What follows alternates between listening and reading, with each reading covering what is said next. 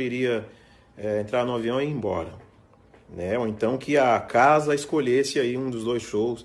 Enfim, é, eu, né, nesses quase 30 anos de carreira, é, nunca passei por uma situação tão desagradável de é, é, com tanto desrespeito, né?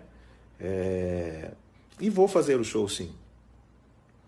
É por uma decisão dele, ele quer tocar às 22 horas, é, não tem problema. A gente, a gente vai fazer o que ele quer. Ele pode tocar às 22, pode tocar às 23, pode tocar à meia-noite. Eu vou tocar às 4, 5 da manhã, em respeito a você, o meu público. Tá? Que, e peço desculpas a você que já está no local, que já sabia da programação do evento, que nós iríamos iniciar o baile às 22 horas. Peço desculpas, peço um pouco de paciência, mas é, nesses quase 30 anos de carreira eu nunca deixei de cumprir um compromisso. Né?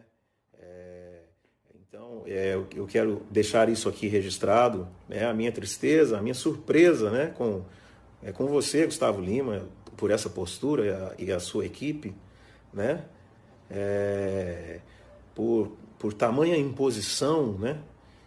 É, ao ponto de dizer que não, que tinha que ser assim, que se não fosse assim, não iria ser. É, quase 30 anos de carreira, nunca passei por isso, mas não será dessa vez que eu deixarei o meu público na mão. Estarei lá logo mais, fazendo show para vocês, tá? Obrigado. É, é importante dizer que tu, tudo o que eu estou dizendo para vocês aqui está devidamente documentado